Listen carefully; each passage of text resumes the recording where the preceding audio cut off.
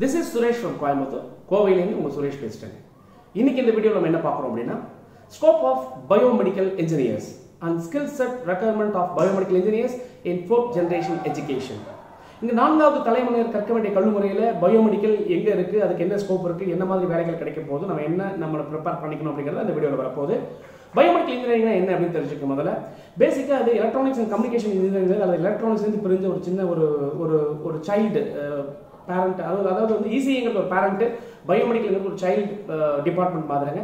இதில் என்ன பண்ணுறாங்க அப்படின்னா பேசிக்காக எலக்ட்ரானிக்ஸ் பற்றின விஷயங்களை படிப்பாங்க. இன்ஸ்ட்ருமெண்டேஷன் அண்ட் மெஷர்மெண்ட்ஸ் கண்ட்ரோல் சம்மந்தப்பட்ட விஷயங்களை படிப்பாங்க. ஸோ ஆல்மோஸ்ட் ஒரு சிக்ஸ் ஒரு ஹண்ட்ரட் பர்சன்ட்ல பார்த்தீங்கன்னா ஒரு forty to fifty percentage electronics based போயிட்டு இருக்கும். ரிமைனிங் பார்த்தீங்கன்னா இந்த மெடிக்கல் ஓரியன்டான விஷயங்களை இதில் படிப்பாங்க.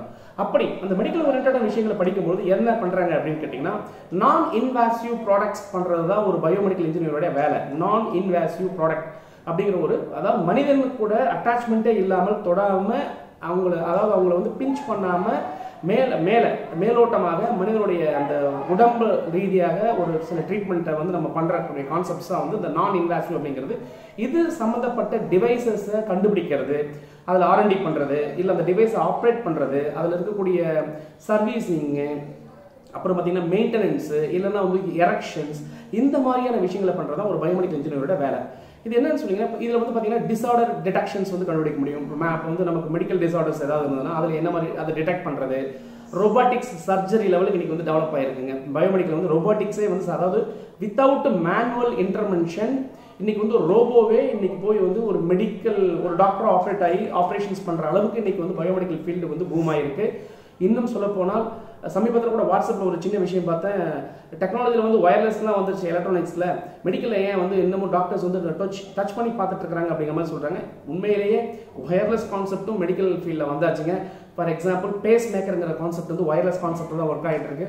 ஸோ இந்த மாதிரி பூம் ஆகிட்டு இருக்கக்கூடிய இந்த பயோமெடிக்கல் ஃபீல்டில் ஸ்கோப் இருக்கா அப்படின்னா கண்டிப்பாக இருக்குது ஆனால் இந்தியாவில் இருக்கா அப்படின்னு நிறைய பேர் கேள்வி கேட்டாங்க.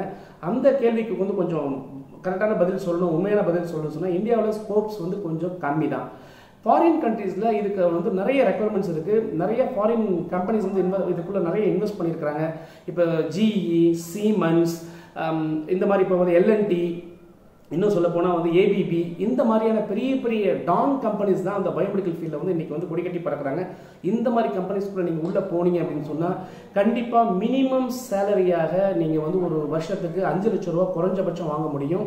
நீங்கள் ஒன்றுமே படிக்கல சாதாரணமாக ஒரு வேலைக்கு போனால் கூட ஒரு பதினஞ்சாயிரம் அளவுக்கு சம்பளம் வர அளவுக்கு இதில் கெப்பாசிட்டி இருக்குது ஆனால் இதுலேயும் கன்சிஸ்டன்சி வேணுங்கிறது நான் அந்த வீடியோ மூலியமாக சொல்ல ஆசைப்பட்றேன். சரி வேறு எந்தெந்த ஃபீல்டில் தான் சார் பயோமெடிக்கல் ஸ்டூடெண்ட்ஸ் வந்து வேலை பார்க்கலாம்? அப்படின்னு பார்த்தீங்கன்னா இன்றைக்கி டெலிமெடிசன் அப்படின்னு சொல்லி ஒரு கான்செப்ட் இருக்குது. வந்து இது வந்து ஐடி ஓரியன்டான விஷயங்கள். ஐடி ஃபீல்டில் டெலிமெடிசனுங்கிற ஏரியாவில் ஒர்க் பண்ணலாம். மெடிக்கல் கோடிங் சொல்லுவாங்க. அதாவது மெடிக்கல் டிரான்ஸ்கிரிப்ஷன் சொல்லுவாங்க. அந்த கான்செப்ட்ஸில் ஒர்க் பண்ணலாம். பயோ மெம்ஸ் அப்படின்னு சொல்லுவாங்க. அதாவது micro electron micro electro mechanical system micro electro mechanical system அதாவது பயோ மெம்ஸ் இந்த ஏரியாவில் நிறைய வேலைகள் இருக்குது மெடிக்கல் டெக்ஸ்டைல் இப்போ வந்து ரீசெண்டாக ஒரு கிளாத் எல்லாம் கண்டுபிடிச்சிருக்காங்க. அதாவது சென்சார் பேஸ்டு கிளாத் நம்ம அந்த கிளாத்தை நம்ம மேலே போடும்பொழுது அந்த கிளாத்தில் டிஃப்ரெண்ட் டிஃப்ரெண்ட் ஏரியாஸில் சென்சாரை வச்சு அந்த சென்சார் வயர்லெஸ் மூலயமா எங்கேயோ ஒரு மீடியத்தில் ரிமோட் சென்டருக்கு சப் ஒரு சில இன்ஃபர்மேஷன் ஷேர் பண்ணி அது மூலியமாக டாக்டர்ஸ் வந்து ட்ரீட்மெண்ட் கொடுக்குற அளவுக்கு இன்னைக்கு இந்த பயோமெடிக்கல் ஃபீல்ட் வளர்ந்துருக்கு. இன்னும் பயோனிக்ஸ் அப்படிங்கிற ஆர்டிஃபிஷியல் இன்டெலிஜென்ஸ் பேஸ்ட் வரக்கூடிய பயோனிக்ஸ் இன்னும் மெஷரபிள் சென்சார்ஸ் இது இப்படி இன்னும் ஸ்கீம் கொஞ்சம் கொஞ்சமாக வளர்ந்துட்டு போகுது ஆனால் ஃபண்டமெண்டலாக எலக்ட்ரானிக்ஸ் இன்ஸ்ட்ருமெண்டேஷன் படித்தவங்க எலக்ட்ரானிக்ஸ் கம்யூனிகேஷன் படித்தவங்களும் உங்களுக்கு காம்படேட்டராக வருவாங்கிறது மட்டும் நீங்கள் மறந்துடாதீங்க.